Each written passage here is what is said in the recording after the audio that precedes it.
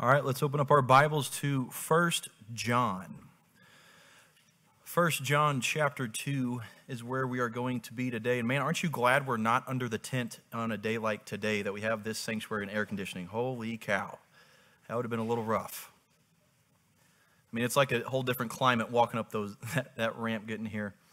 Uh, Pastor Mike, he's over in Illinois. He's visiting Woodlawn Chapel. It was a church that we planted in 2020. So I'm sure he's enjoying his time over there with Pastor Brock and his family. Their church is doing fantastic. Uh, it's good to see what God is doing over there. So, First John. Last time I was up here on a Sunday, uh, we did go through First John chapter two, the first eight verses, and I thought we would enjoy diving back into this amazing letter. We've kind of been dog paddling through this letter uh, behind Ezekiel, um, and so we're just going to dive into that instead of uh, you know, I'm pretty sure you were anticipating and just on edge to hear Babylon, the sword of God, in Ezekiel 21. But instead, we get Jesus in the New Testament and the glory revealed in the New Testament. So I'll leave that to Mike. But we're back in chapter 2 of this lovely letter written by the disciple whom Jesus loved, John. And John wrote to defend and to define the nature of Jesus Christ against heretical teachings that were infiltrating into the early church. In John, he powerfully set forth Jesus Christ as the true Son of God, both undiminished deity and unprotected humanity. Jesus was both 100% man and 100% God at the same time. John also presents revolutionary implications of that truth for our relationship with God and for other people. It is also important to understand who John is writing to. He's not writing to unbelievers. These are uh, people that have been walking with Jesus, they're growing with Jesus. These are believers in Christ. They're, they're Christians, they're church attending Christians. And so John writes to encourage these believers to continue their walk and to continue their life of faith in Jesus, but not only to continue, but also to mature, to grow. And one more thing before we dive into the text words. Words. I mean, a lot of the times words can get overused and they can lose their value or lose their meaning or they just get uh, oversaid. Um, for example, swag. When I was in middle school, in high school, in college, like swag was just used so many times it just doesn't even you know compute like you guys are staring at me like i just said something wrong. Um, like you get it right? Swag um, holla i guess that was a thing like early 90s or something. Um, tomfoolery that was one. Nobody says that anymore or maybe. And then let's do one more. Let's do um, the cat's pajamas. Yeah that's one too. You know it just doesn't get said anymore. It's it's lost its value and unfortunately for the word love, or sometimes people will text it L U V, which I guess it's too much time to spell it right and to add one more letter. We're just going to shorten it and misspell it because I don't know. But love is losing its value. It's being used as an excuse to cover a multitude of sins. The Bible does say that love covers a multitude of sins, but what do you mean by love? How do you define love? Our culture will say that love is love, which is it's not.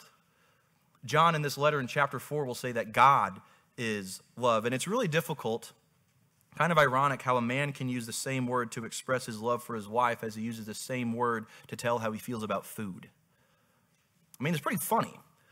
You ask a man how he feels about his wife, and hopefully he says that I love her, she's my everything, you know, all the right things. But then if you ask a man, how do you feel about a tomahawk steak, medium rare ribeye, cooked over open coals with a baked potato, you know, and a tall glass of Coke, then you might have to ask yourself how much time you got, because that could turn into a podcast episode about food.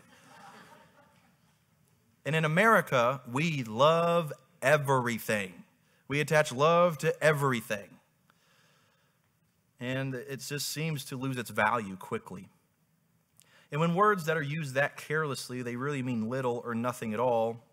And as John, he describes the Christian life here, he uses three words repeatedly throughout this letter life, love, and light.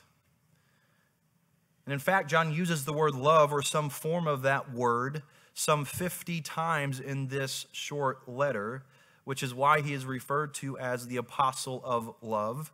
And he explains that love, life, and light are intertwined, that they belong together. And through reading this letter, you will see that love, life, and light cannot be separated, they all coexist.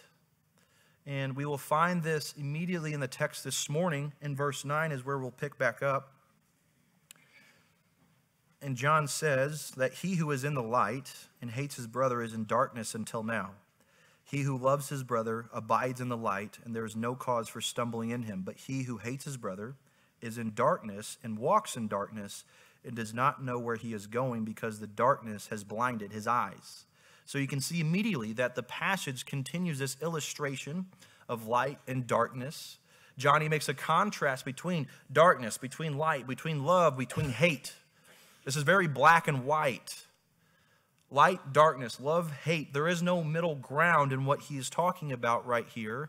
But again, if a Christian says, I walk in the light, I love God, I believe there's a God out there. I abide in Jesus. Yes, I know the Lord. If they say that with their lips, but at the same time they hate their brother, they are not walking in the light. And if a Christian walks in the light, he is to have fellowship with God but he will also be in fellowship with others in God's family because to walk in the light, again, is to walk in love. It is to love your brother, your sister. It is not to hate them. And of course, it's easy to be up here and say, you know, love each other. Christian love is easy to talk about, but to practice that is where it gets tough. You know, it's not just mere talk, as we just read in verse 9. And for a Christian to say, or probably even to sing during worship that he or she loves the brethren, that they love the church, while they actually hate another believer, is for him to lie. So, in other words, this is pretty sobering truth. It is impossible to be in fellowship with the Father and to be out of fellowship with another Christian at the same time. This is the one reason why God established the local church, the fellowship of believers. You can't just be a Christian alone. You can't be a Christian and have hate in your heart. It does not mix. A person cannot live a complete and developing Christian life unless that person is in fellowship with God's people. That's what John is trying to get at here with mature believers to be in church, to be in fellowship with believers. So ask yourself, how many times uh, do you come here. Maybe just on Sundays, so that's just an hour out of your week to be in fellowship with God's people. A couple Sundays out of the month, then you're at two hours a week with God's people.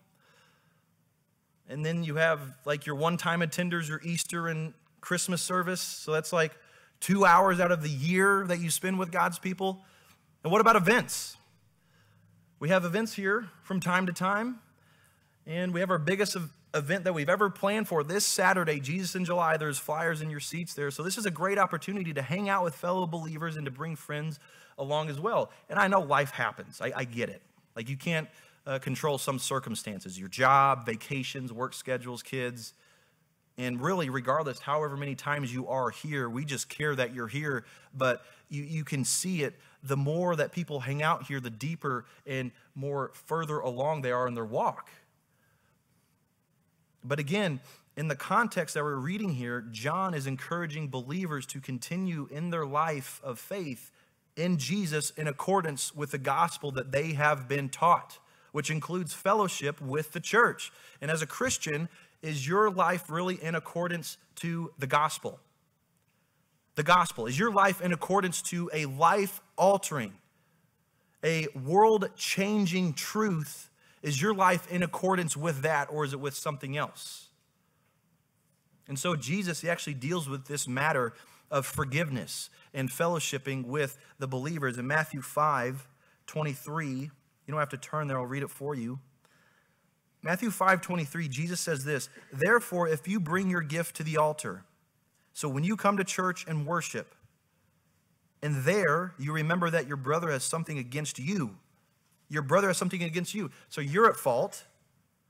Leave your gift there before the altar and go your way. First be reconciled to your brother, and then come and offer your gift. Agree with your adversary quickly while you're on the way with him, lest your adversary deliver you to the judge, and the judge hand you over to the officer, and you be thrown into prison. Assuredly, I say to you, you will by no means get out of there till you have paid the last penny. So the gift on the altar was useless. It was valueless as long as the worshiper had a dispute to settle with his brother. And in the case in Matthew 5 23, Jesus did not say that the worshiper had something to settle against his brother, but that the brother had something against the worshiper. So you did something to offend somebody else, is what Jesus is saying. You should be the one to go and make reconciliation with them. Don't wait. And when somebody wrongs you, don't wait for them to come and say, I'm sorry, please forgive me. No, you go and make that decision first. This is the mature walk is to ask for forgiveness first and to go and make reconciliation first. So if we've offended somebody, go and ask for forgiveness. And the Christian practice is that you should forgive the other brother immediately. I mean, think how much Jesus has forgiven you. Surely we can be more forgiving with that understanding. And Jesus considers it far more important to be reconciled to a brother or a sister than to perform a religious duty. Jesus says we first must be reconciled to your brother. And we can't think that our service towards the Lord justifies bad relationships with others. I love what Paul said in Romans 12 18. If possible, uh, as much depends on you, live peaceably with all men. And so that happens when a believer, uh, when he does not love the brethren as we have seen, he lives in darkness, though he probably thinks he's living in the light. Right? He thinks he sees, but he's actually blinded by the darkness of hatred. The person could be reading their Bible faithfully, they could be in prayer fervently, but if he has hatred in his heart, then he's living a lie. Christians cannot have hate in their heart.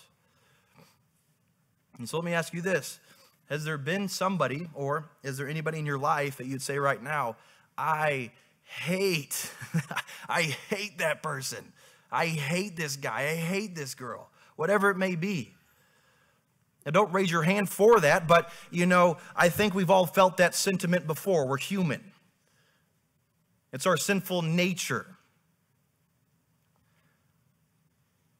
And you might say, well, you don't know what they did to me. You don't, you don't know how they took advantage of me, how they hurt me emotionally and physically, eh, whatever the case may be. And I may not know, and more than likely, I have no idea, but I know somebody who does Jesus. Just think about that.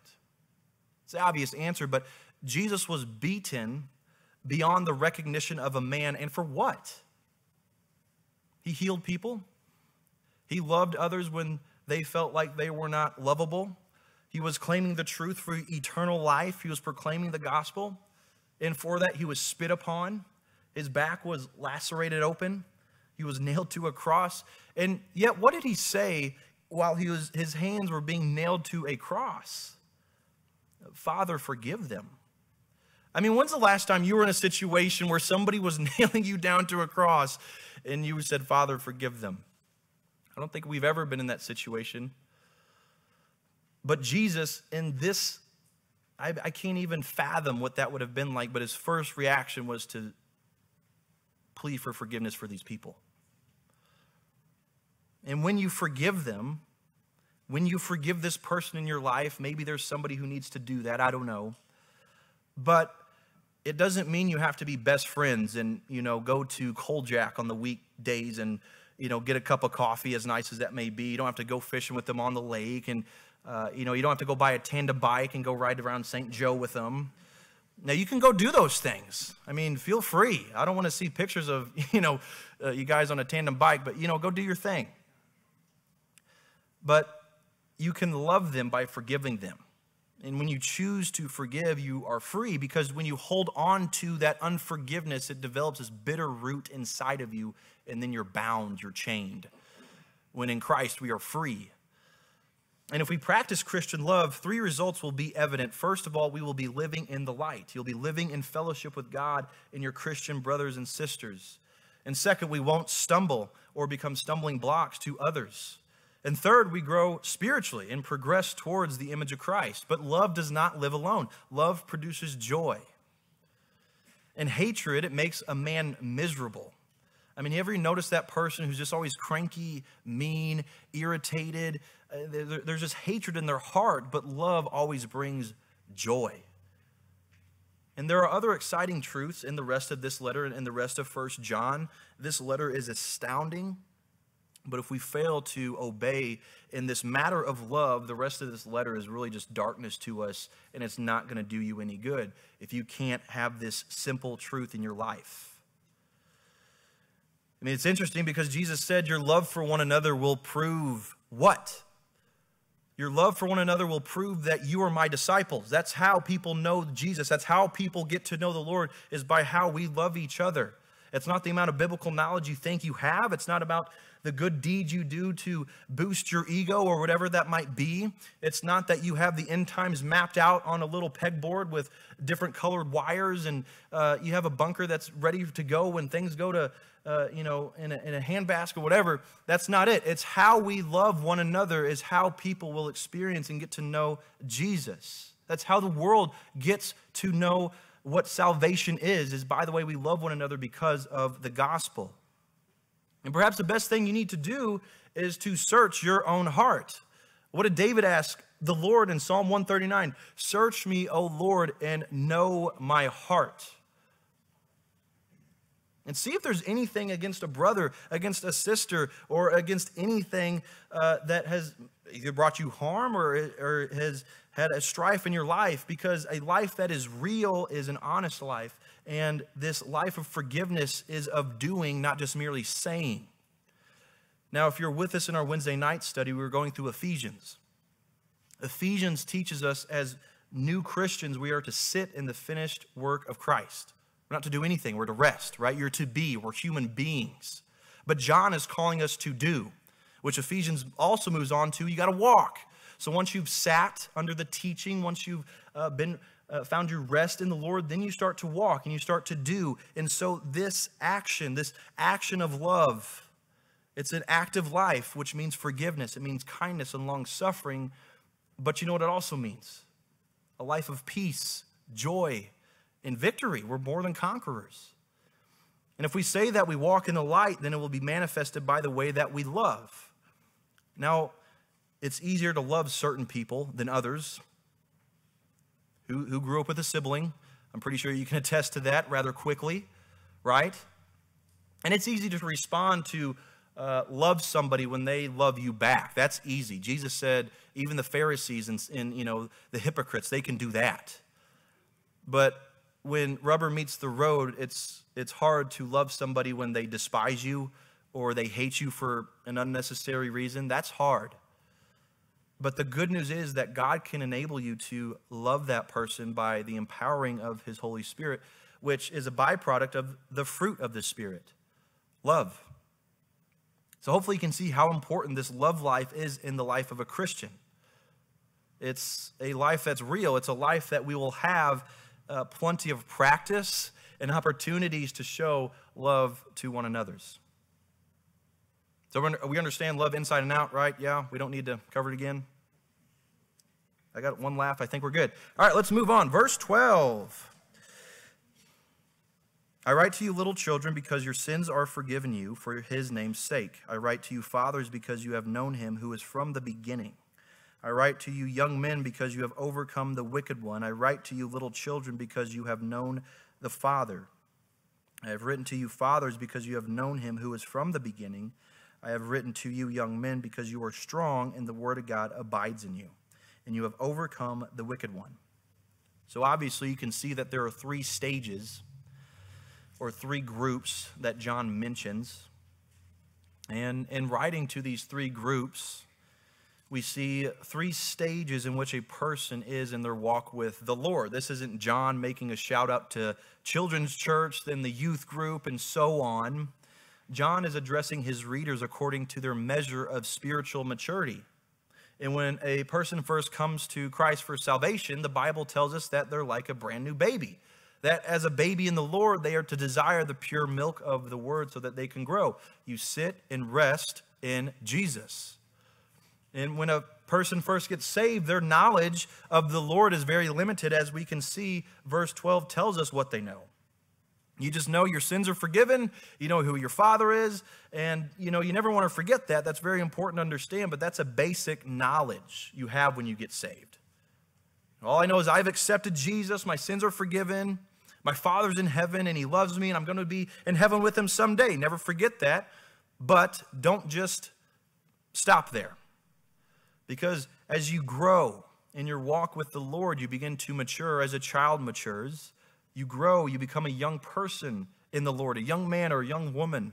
And when he writes to these young men, he says here, I write to you because you have overcome the wicked one, and you are strong because the word of God abides in you, and you have overcome the wicked one.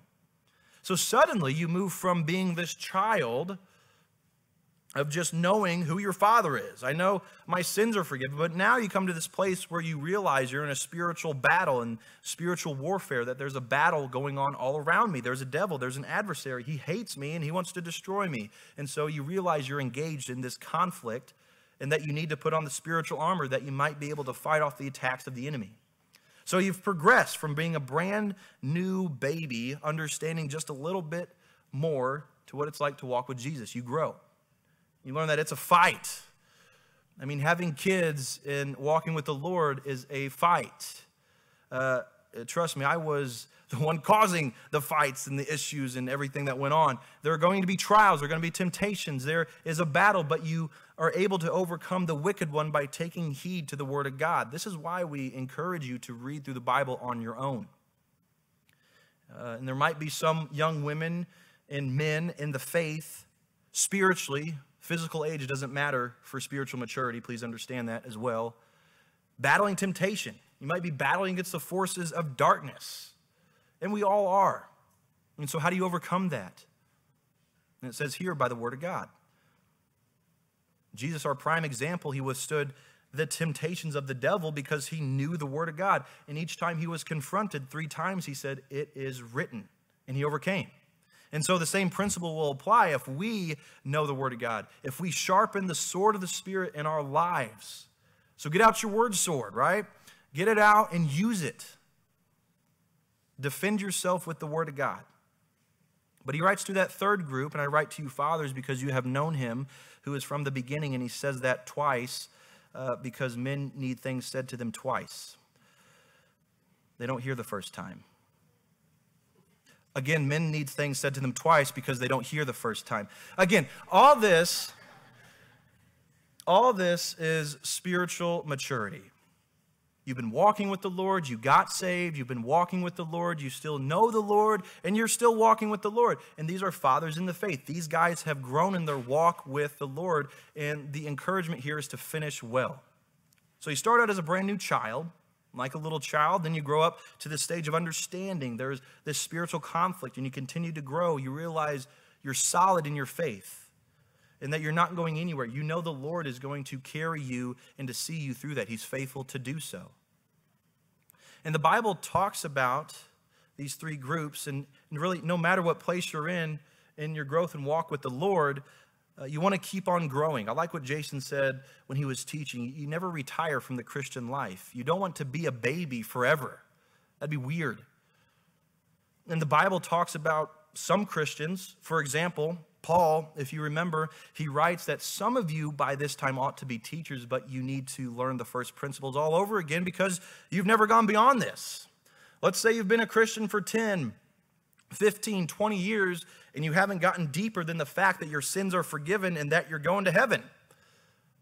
You know, some people might think, well, can I just get my uh, get out of hell free card and, you know, my fire insurance? And sure, like, yes, but that's a wasted life. It's a saved life, but it's a wasted life. You know, God wants to take you deeper. He wants to show you more things. He wants to develop you and to grow you spiritually. I mean, think of it this way my little nep- nephew, Micah, little Micah Moo, I think he's like seven months old. It's really awesome to see little Micah Moo in diapers, you know, learning how to talk, how to how to speak, and he's mumbling different things, and he's throwing up all over the place, and everybody's like, "Oh, he's so little cute, Micah." And when Micah go and when Micah Moo goes poo, everybody kind of goes like, "Oh, his face is so red and crinkly." Is, and, you know. But when Micah turns my age, and if he's still wearing diapers, saying "goo goo gaga," and he's, you know, doing one of these numbers, that's not very cute anymore.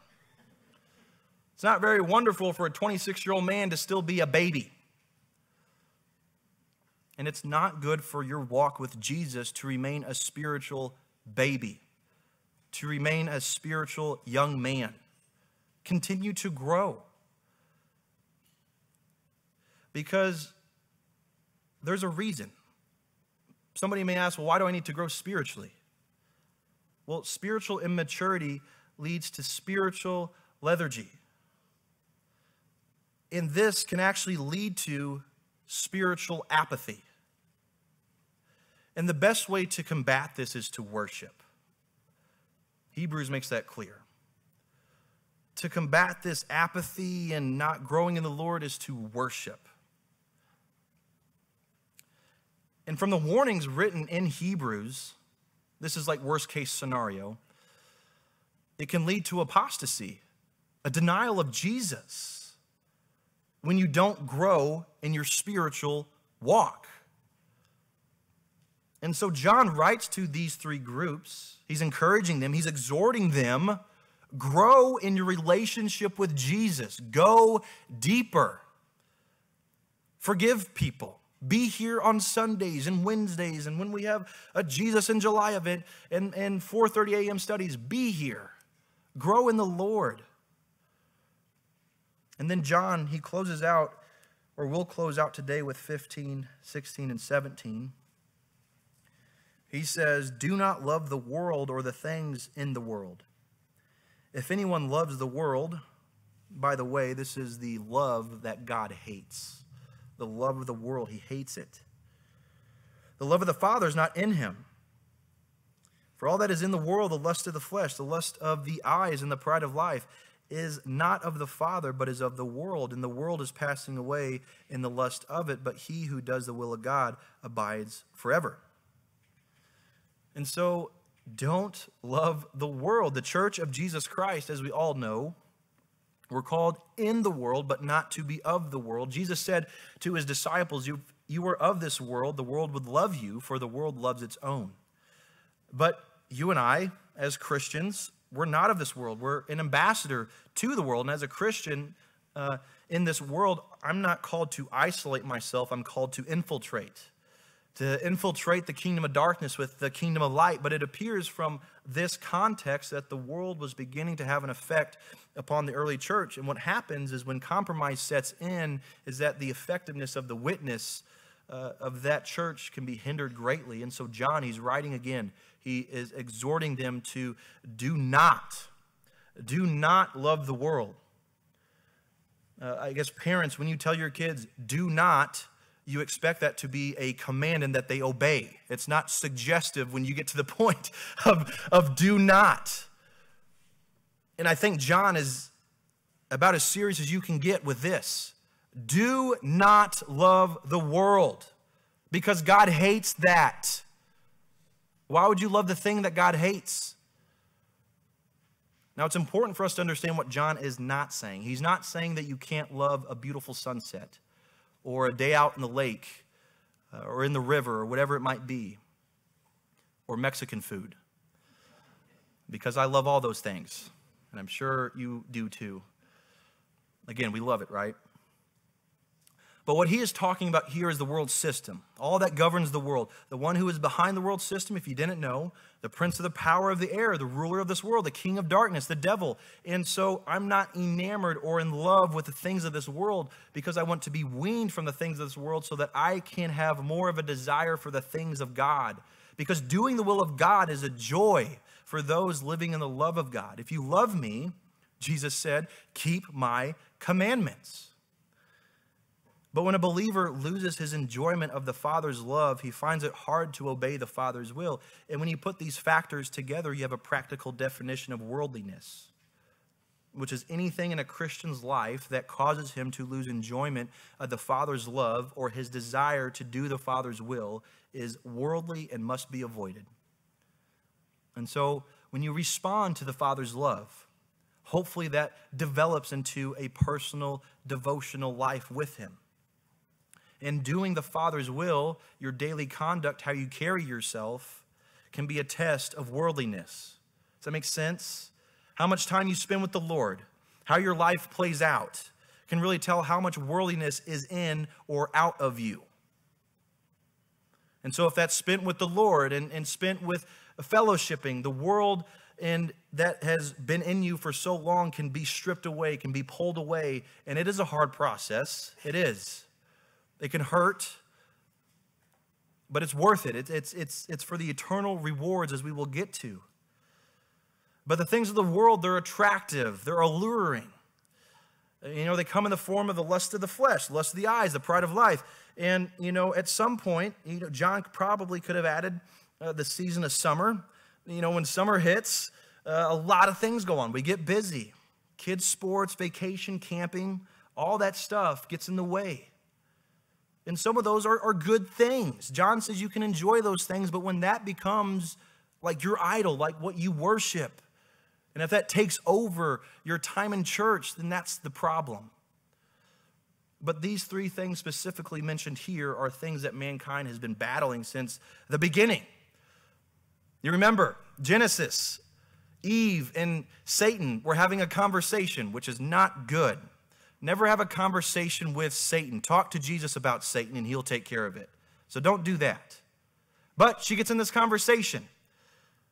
God says, Don't eat of the tree, right? He told that to Adam. Adam was supposed to tell that to Eve, so she probably knew. She said something that was somewhat resemblant of what God said, but she didn't know everything, so Satan deceives her he tempts her with the lust of the flesh. Look at this fruit. Oh boy, I bet it's pretty tasty.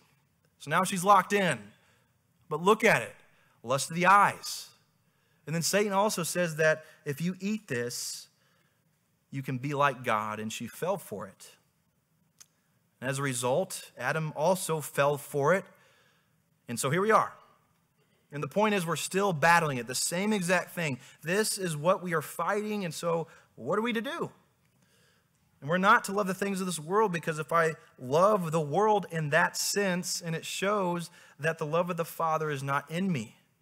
If I'm just caught up in the world system and just enamored with the rest of the world in the direction that it's going, something is wrong. And the Bible tells us that the love of God is not being manifested in you. That's what John is saying. And if you're still in awe and just enamored with the world system, and you have this great affection and habitual action that follows that, John says the love of God is not dwelling in you.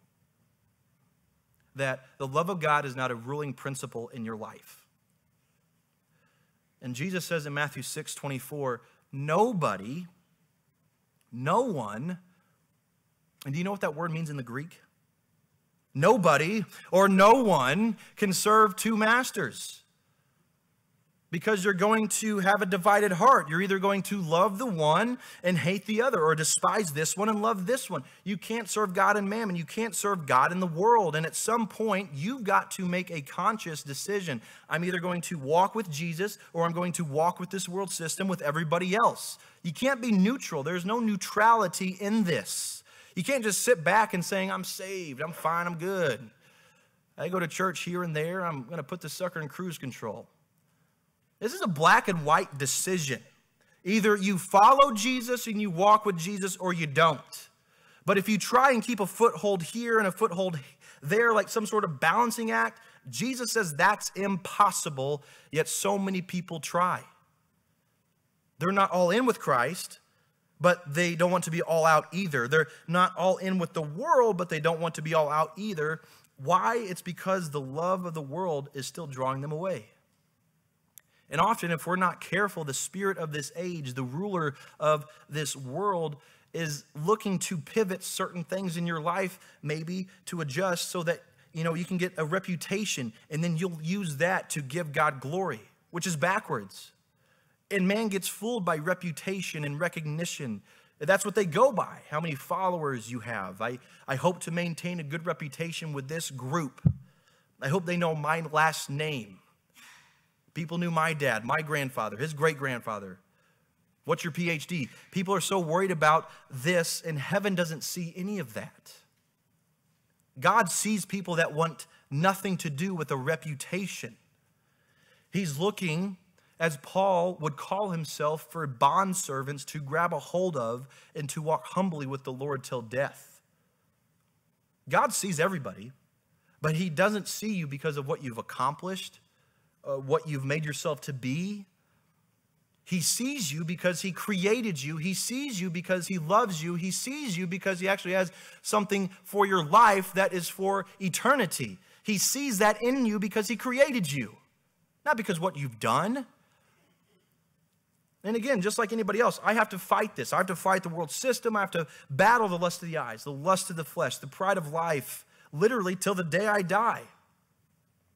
And this love for the world, it manifests itself in, in various ways. You can become desensitized to sin and you get caught up with possessions and staying current and keeping up with whoever becomes the standard. But when you love Jesus, it manifests itself in various ways. And there is a desire to abide in Christ, to walk in the light, to walk in forgiveness, to desire closely, uh, to live closely to the Lord, to love God's people, to love the lost. And these three things will constantly be a battle, but John tells us that the end of all things, in verse 17, the end of all things is near. He is very clearly stating that the world is passing away. And I really hope you know this. This is one of my favorite things to really have stirring in my mind that this isn't it. I hope you realize that there is a new heavens and a new earth that is about to, uh, to be here. You know, when Jesus returns and, and we get to be with him, like, guys, you're working towards an eternal city that we get to live in an eternal city that we get to live in with new bodies. And I hope the bass fishing is going to be unreal when we get there. Because you know why? The Dead Sea is going to have life in it. And I'm going to bring my bait caster if I can have one, you know. But if I can't, that's fine. Because I get to go to a new creation with Jesus and walk in eternity with him. I love that truth that th- this world is not it. This 70 to 80 years that we get on earth is such a minuscule piece of time because eternity is what we are shooting for. One day, all that is will no, will no longer be. That's what the Bible says. That's in my Bible, right? You know, there will be a new heavens, a new earth. This world system is passing away, and it, one day it'll come to an end. And this vain, futile show, this sin parade that Satan is conducting, is going to stop one day. And on the other hand, the contrast is that those who do the will of God, they endure forever, they abide forever. Whoever does the will of God abides forever. That's a strong contrast to the passing world because some things are forever. It is much wiser to invest our lives into that which cannot be lost, doing the will of God. You know, you're in regular contact with three eternal things the Holy Spirit of God, the people around you, in the eternal words recorded in the book you hold. And so your time, your attention, and your expenses should be put into things because that pays eternal rewards. That's the promise. If you do the will of God, you abide forever. And so we'll conclude this morning uh, think, thinking about these things. John writes three times in the first 17 verses of chapter 2 if we say we know him, if we say we abide in Jesus, if we say we walk in the light, then what will follow is that we will live according to his word. We will love our brothers, our sisters. We will forgive them no matter what they've done. And we will walk as he walked, not just saying it with our lips, but by demonstrating it with our lives. And God will help us to be what and who we are in light of Jesus and to live and to do the will of God which is awesome because the Bible says that it is God who puts it in us to will and to do for his good pleasure. And I pray that that would be the case with us. Would you guys pray with me?